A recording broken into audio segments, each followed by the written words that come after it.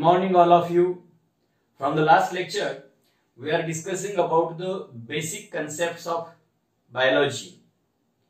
We started with what is mean by biology and then we came up to the various branches of biology.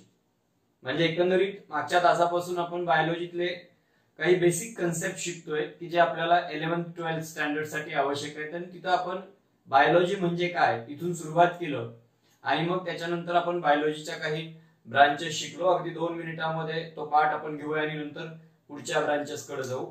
आपण शिकलो what is biology it is the branch of science that deal with the study of living organisms living things and then branches botany the branch of biology that deal with the study of plants then study of of zoology study of micro organisms microbiology पुन्हा आपण शिकलो morphology that is study of external features of organism anatomy study of internal structure of an organism then uh, histology study of tissues inside the body of organism organismच्या शरीरातल्या टिश्यूंचा अभ्यास करणं then physiology that is the study of forms and functions body functions of an organism body functions शिकणं that is called as a physiology याच्यानंतर आपण शिकलो psychology that is study of cells in the organism type of cell reproduction of cell आणि आणखीन एक branch आपण शिकलो and that branch is called as a embryology that is the branch that deal with the study of development of the embryo इथपर्यंतचा part आपण मागच्या लेक्चरमध्ये cover केला होता. आता या एम्ब्रिओलॉजीला लागून आपण पुढं आज आणखीन काही ब्रांचेस घेणार आहोत. आणि मग थोडस पुढे जाऊया. त्यापैकी एक ब्रांच आहे बायोलॉजीमध्ये अतिशय महत्वाची असणारी and that is known as genetics याला आपण जेनेटिक्स असं म्हणतो. जेनेटिक्सचे काही चॅप्टर आपल्याला ट्वेल्थच्या सिलेबसमध्ये शिकायचे त्यामुळे आपल्याला माहिती पाहिजे. We must know what is mean by genetics genetics as usual it is the branch of biology that deal with the study of two aspects of the living organism and these two aspects are heredity and variations आणि त्यामुळे मी असं लिहितो the branch which deals with the study of heredity and variations heredity and variations याचा अभ्यास करणारी जीवशास्त्राची branch that branch is called as a genetics म्हणजे ज्याच्यामध्ये या दोन महत्त्वाच्या गोष्टींचा अभ्यास केला होतो मग आपल्याला माहिती पाहिजे की what is mean by heredity heredity म्हणजे काय? मराठीमध्ये आपण त्याला अनुवंश असं म्हणूया. अनुवंशिक गुणधर्म असा शब्द आपण ऐकलेला असेल. मग heredity is the transfer of characters from one generation to next generation त्याला आपण हेरिडिटी असं म्हणतो. Heredity is transfer of characters. कशाचं ट्रान्सफर होतं तर कॅरेक्टरचं. कुठून ट्रान्सफर होतं? एका पिढीतून दुसऱ्या पिढीमध्ये. Transfer of characters from one generation एका पिढीतून टू नेक्स्ट जनरेशन पुढच्या पिढीमध्ये कॅरेक्टरची ट्रान्सफर होणे. That is called as a heredity आपण असं बघतो पाहतो या ठिकाणी. बऱ्याचशा ठिकाणी आपण पाहतो की लिव्हिंग ऑर्गॅनिझम्स हे त्यांच्या पेरेंट्स सारखे दिसतात. आपण आपल्या आई वडिलांसारखे दिसतो. आपल्यामध्ये अनेक गुण आपल्या आई वडिलांमधले आहेत. बरोबर आहे? आणि मग का तर आपल्यामध्ये हे हेरिडिटरी कॅरेक्टर्स आले. अनुवंशिक गुण आले. आई वडिलांकडून आले. कारण की आपल्यामध्ये जे जीन आलेले आहेत गुणसूत्र हे आपल्याला आपल्या आई आणि वडिलांकडून मिळाले. किंवा प्रत्येक तयार होणाऱ्या लिव्हिंग ऑर्गॅनिझम मधले जीन हे त्याच्या पेरेंटकडून आलेले असतात आणि आपल्याला माहिती आहे की characters are controlled by genes as we get genes from parent पेरेंटचे genes आपल्यामध्ये येतात म्हणजेच पेरेंटचे कॅरेक्टरिस्टिक आपल्यामध्ये येतात. आणि मग एका पिढीतले हे कॅरेक्टरिस्टिक पुढच्या पिढीमध्ये ट्रान्सफर होणे त्याला हेरिडिटी असं म्हणायचं.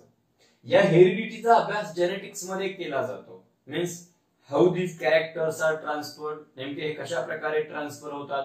What are the principles of this transfer ह्याची नेमकी तत्व काय आहेत? नेमकी प्रिन्सिपल्स काय आहेत? की कशा प्रिन्सिपल्सना फॉलो करून एका पिढीतली कॅरेक्टर्स पुढच्या पिढीमध्ये ट्रान्सफर होतात? या सर्व गोष्टींचा अभ्यास या किंवा बायोलॉजीच्या या शाखेमध्ये केला जातो. तिला आपण जेनेटिक्स असं म्हणूया.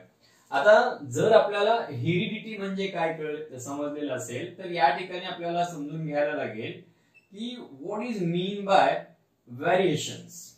Variations are the differences एका बाजूला आपण सांगतो की we are similar to our parent परंतु दुसऱ्या बाजूला आपल्याला असंही पाहायला मिळतंय we are not exactly similar to our parent आपण आपल्या आईवडिलांसारखे आहोत. आपल्यामध्ये आपल्या आईवडिलांचे गुणधर्म आहोत आहेत. But we are not the clones of our parent we are not the carbon copy of our parent किंवा आपण अगदी सेम त्यांची डुप्लिकेट कॉपी नाही आहोत. जरी आपल्यामध्ये त्यांच्यातले जीन येत असतील काही गुण आपल्यातले आपल्यामध्ये त्यांच्यातले दिसत असतील तरी आई वडिलांपेक्षा काही गुण आपल्यामध्ये वेगळे दिसतात. डिफरन्सेस त्यांना आपण व्हेरिएशन्स म्हणायचं. थोडक्यात असं केलं तर different variations are the differences between parents and offsprings differences between parents. And offsprings parent आणि ऑफस्प्रिंग्स यांच्यामधले फरक यांच्यामधले डिफरन्सेस यांना आपण व्हॅरिएशन असं म्हणूया.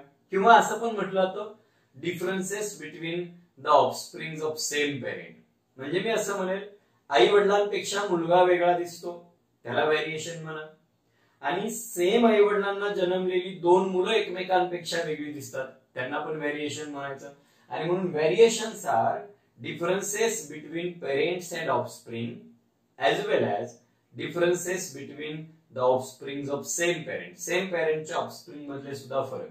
म्हणजे थोडक्यात genetics is the branch of biology that tells us why we are similar to our parent and why we are different than our parent म्हणजे आपल्यामध्ये काही गुण पेरेंट सारखे आहेत आणि मग असं असताना काही वेगळे पण का आहे या सर्व गोष्टींचं ज्ञान आपल्याला ज्या ब्रांच मध्ये मिळतं that branch of biology is called as a genetics याच्यामध्ये अनेक प्रिन्सिपल्सचा अभ्यास केला जातो म्हणजे थोडक्यामध्ये आपण शिकूया. येता दहावी मध्ये ह्याच्याशी रिलेटेड एक टॉपिक आपण शिकलेलो आहोत. मेंडेलच्या एक्सपेरिमेंटशी रिलेटेड जो आहे आणि तो जेनेटिक्स मधली प्रिन्सिपल शोधून काढणाराच एक्सपेरिमेंट मेंडेलनी केले होते. आणि तो भाग आहे. तरी आपल्याला इथून पुढे लक्षात ठेवायचं what is mean by genetics genetics म्हणजे नेमकं काय? या गोष्टी आपण लक्षात ठेवूया. ठीक आहे? ही ब्रांच या ठिकाणी झाल्यानंतर आपल्याला लिव्हिंग ऑर्गॅनिझमचा स्टडी करणारी किंवा बायोलॉजी मधली आणखीन एक branch and that branch is called as a ecology ecology असं आपण म्हणतो त्याला. See what is mean by ecology आजकाल या इकॉलॉजीला एन्व्हायरमेंटल सायन्स असं पण म्हटलं जातं. See what is mean by ecology it is the branch of biology that deal with the study of living organisms in relation to others म्हणजे आता living ऑर्गॅनिझमचाच अभ्यास करायचा.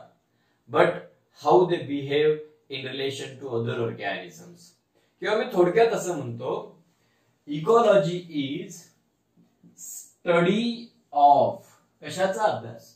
Study of interactions interactions between organisms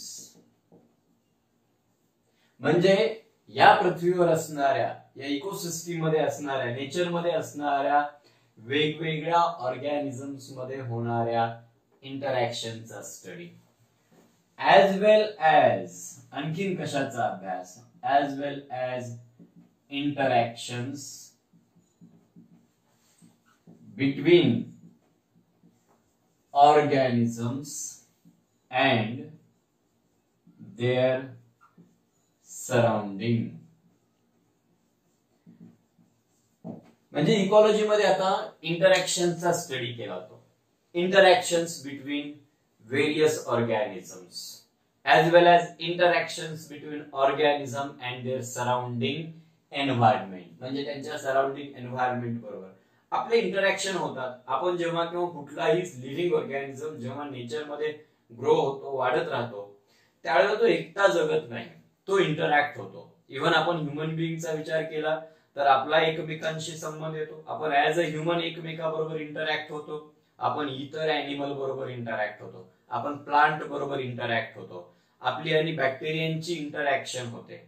आणि मग या इंटरॅक्शनचा study करणं that is called as an ecology समजा टायगर फॉरेस्टमध्ये राहतो that tiger interact with other animals in the forest and tiger interact with the plants in the forest त्याच्याबरोबर interact होतो समजा वनस्पती चालत गेला किंवा इतर काही असेल किंवा त्या ठिकाणचं जे काही एन्व्हायरमेंट आहे त्याच्याबरोबर टायगरच्या इंटरॅक्शन होतात. आणि मग या पद्धतीनं लिव्हिंग ऑर्गॅनिझम आणि त्या लिव्हिंग ऑर्गॅनिझमचं सराउंडिंग एन्व्हायरमेंट बरोबर किंवा एन्व्हायरमेंट मधल्या ऑर्गॅनिझम बरोबर कशा प्रकारे इंटरॅक्शन होतं या सर्व इंटरॅक्शनचा अभ्यास करणारी ब्रांच आहे दॅट इज कॉल्ड इकॉलॉजी म्हणजे तो ऑर्गॅनिझम कुठं राहतो कसा वाढतो कसं रिप्रोडक्शन होतं रिप्रोडक्शन होताना त्याचे इंटरॅक्शन इतरांबरोबर कशा होतात या सर्व गोष्टींचा अभ्यास जीवशास्त्राच्या ज्या ब्रांचमध्ये केला जातो that branch is called as ecology त्याला आपण इकॉलॉजी असं म्हणतो. ठीक आहे?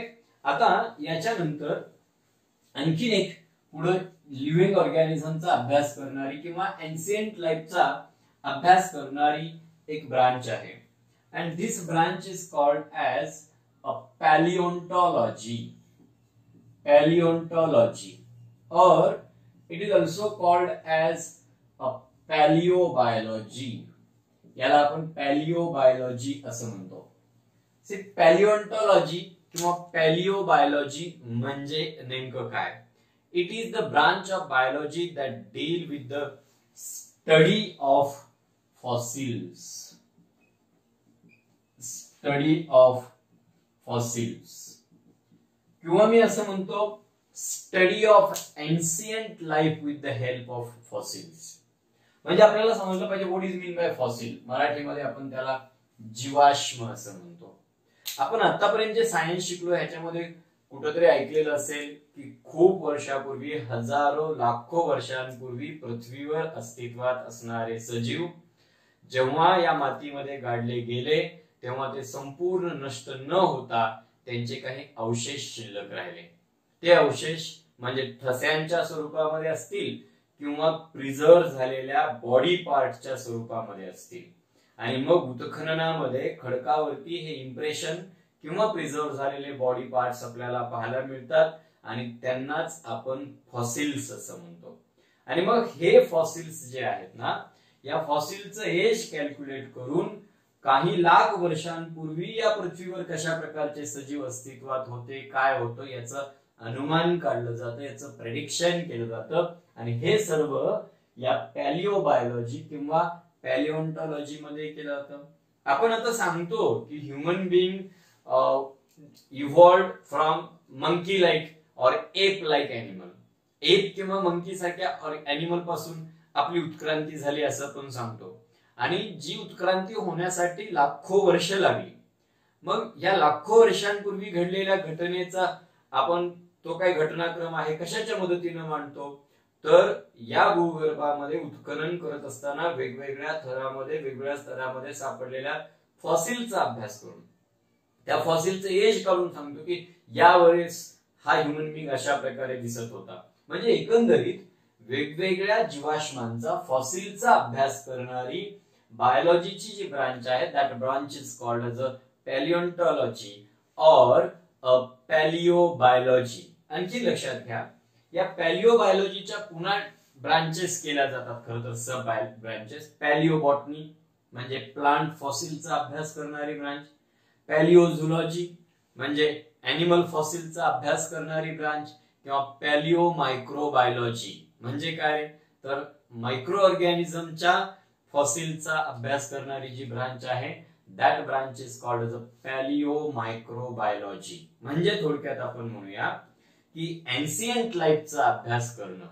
With the help of fossils that study is called as a paleontology or it is called as a paleobiology त्याला आपण पॅलिओबायोलॉजी असं म्हणतो. ठीक आहे?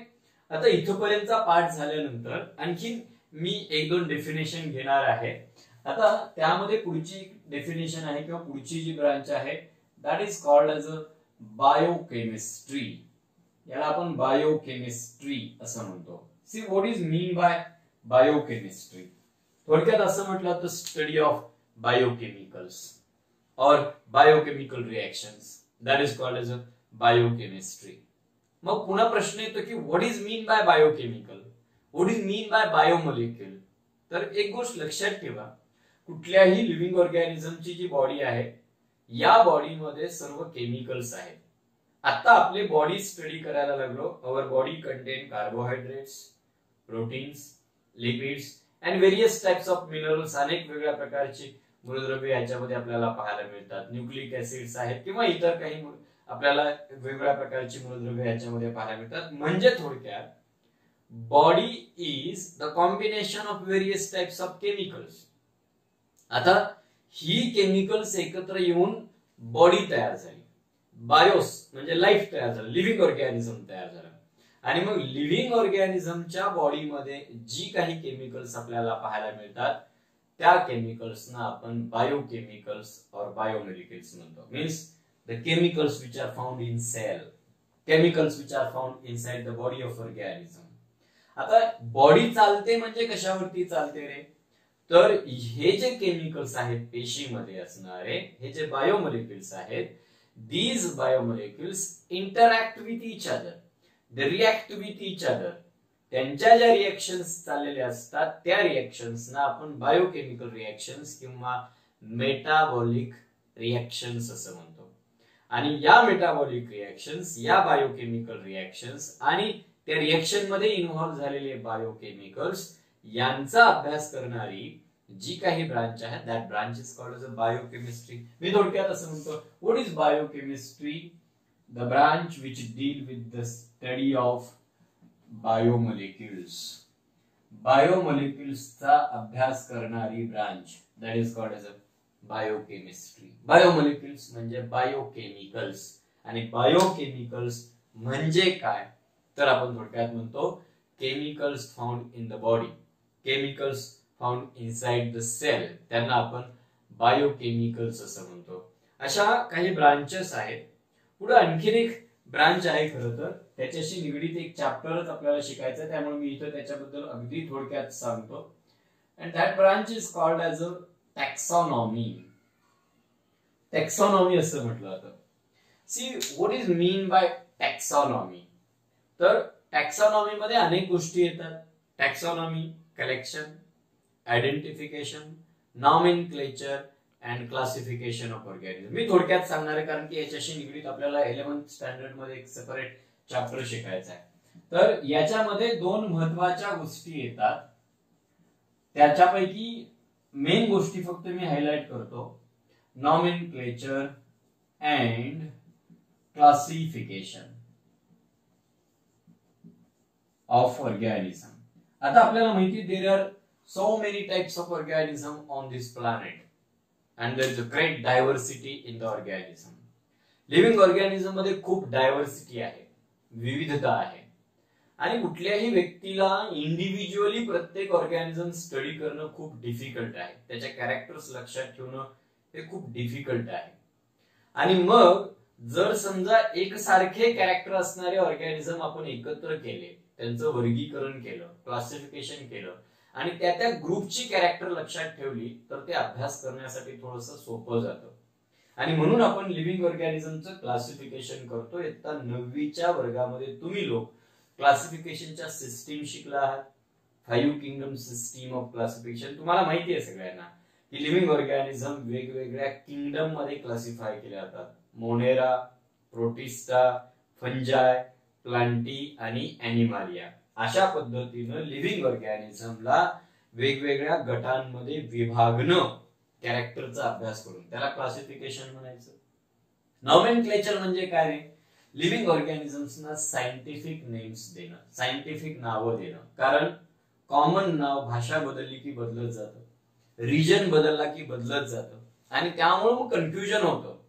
म्हणजे आपण थोडक्यात एखाद्या ऑर्गॅनिझमला म्हणजे या ठिकाणी आपण मराठीमध्ये समजा वाघ म्हणतो. हिंदीमध्ये बाघ म्हटलं किंवा शेर म्हटलं जातं.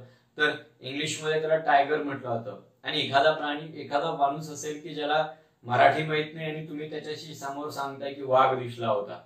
मग हे कॉमन नावावरून ओळखणं खूप कठीण जातं. आणि म्हणून सायंटिफिक नावं द्यावी लागतात. त्याला आपण नॉमिन क्लेचर असं म्हणतो. या गोष्टींचा स्टडी या गोष्टी ज्या ब्रांच मध्ये केल्या जातात that branch is called as a taxonomy त्याला टॅक्सॉनॉमी असं म्हटलं जातं. बरोबर आहे? अशा काही बायोलॉजी मधल्या महत्त्वाच्या ब्रांचेस आहेत की इलेव्हन्थ स्टँडर्डची सुरुवात करत असतानाच या ब्रांचची आपल्याला आवश्यकता पडते. खरं तर मी मागच्या लेक्चरमध्येच तुम्हाला सांगितलं की there are hundreds of branches of biology म्हणजे शेकडो ब्रांचेस आहेत बायोलॉजीच्या परंतु मग आता त्या सर्व इथं शिकायच्या का? एवढ्याची एकत्र गरज नाही. मी आता फक्त एवढं सांगतोय की इलेव्हन्थ आणि ट्वेल्थला जाण्यासाठी आपल्याला जे बायोलॉजीचं बेसिक आहे ते फक्त मी सुरुवातीच्या काही लेक्चरमध्ये घेणार असं तुम्हाला बोललेलो होतो. आणि त्यानुसार सुरुवात करतो सुरुवात बायोलॉजीची करण्यासाठी इथपर्यंतच्या ब्रांचेस सफिशियंट आहे. खरं तर आणखीन ब्रांचेस पुढे येत राहतात. परंतु आणखीन बेसिक कन्सेप्ट आपल्याला गरजेचे आहेत.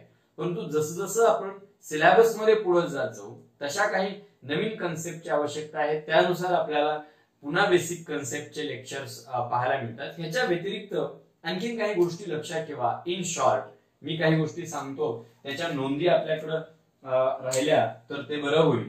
हे पहा आता मी तुम्हाला सांगितलं होतं की अॅनिमलचा अभ्यास करणारी ब्रांच आहे ती झुलॉजी आहे.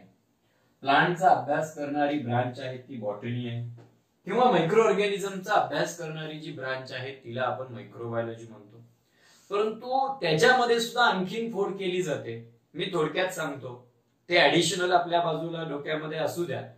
की मायक्रो ऑर्गॅनिझममध्ये पुन्हा वर्गीकरण जर केलं तर बॅक्टेरियांचा अभ्यास करणारी ब्रांच तिला आपण बॅक्टेरिओलॉजी असं म्हणतो. मी थोडक्यात म्हणतो what is bacteriology study of bacteria जीवाणूंचा अभ्यास करणारी ब्रांच ह्याच्या व्यतिरिक्त आणखीन एक व्हायरॉलॉजी व्हायरॉलॉजी आपण थोडक्यामध्ये आता म्हणतो स्टडी ऑफ हा व्हायरसेस व्हायरसेसचा स्टडी करणं.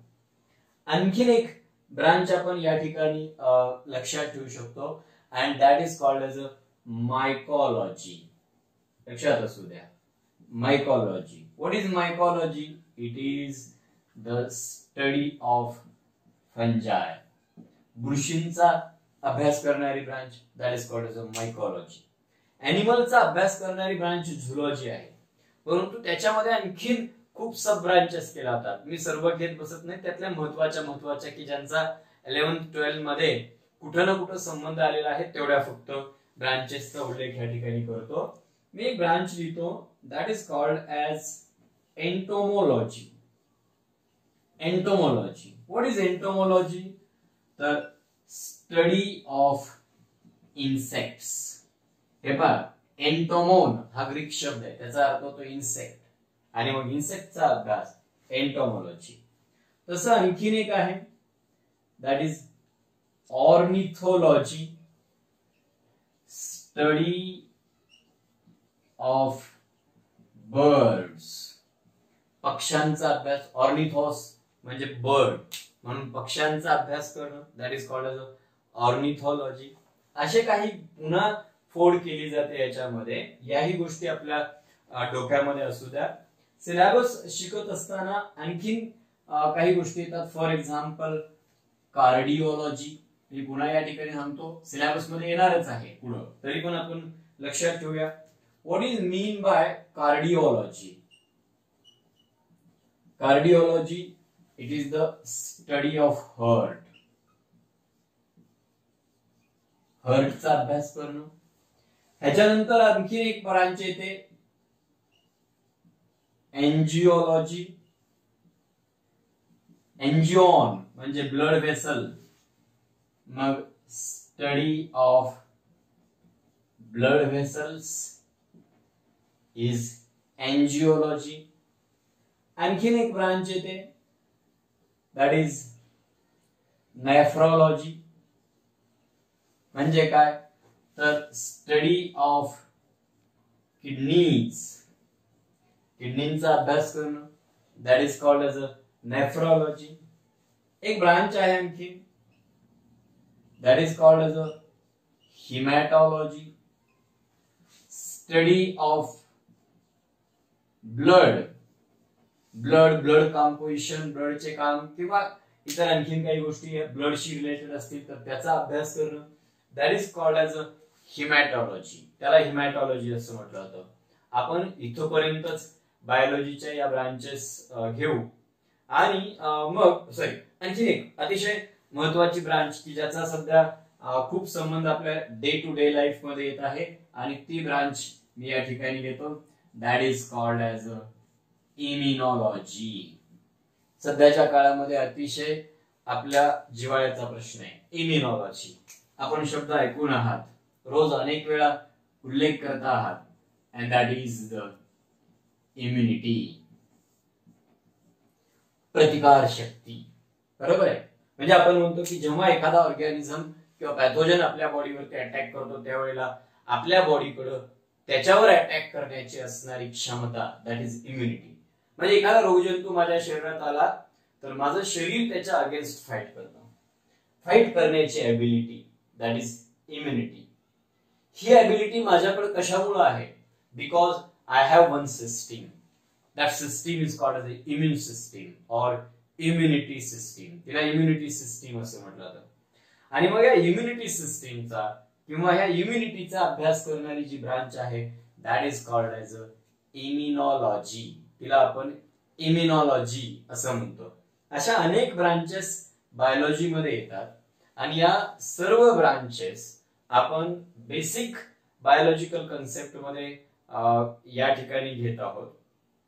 याच्या व्यतिरिक्त पण आपल्याला आणखीन काही गोष्टींचा उल्लेख बायोलॉजीच्या बेसिक कन्सेप्टमध्ये करावा लागतो. आणि त्या गोष्टी कुठल्या कुठल्या आहेत त्याच्याकडे आपण थोडक्यात जाऊया. एक गोष्ट लक्षात ठेवा. आपण जर करतो की living organisms they are formed from cell cell पासून तयार झालेले आहेत असं आपण सांगतो.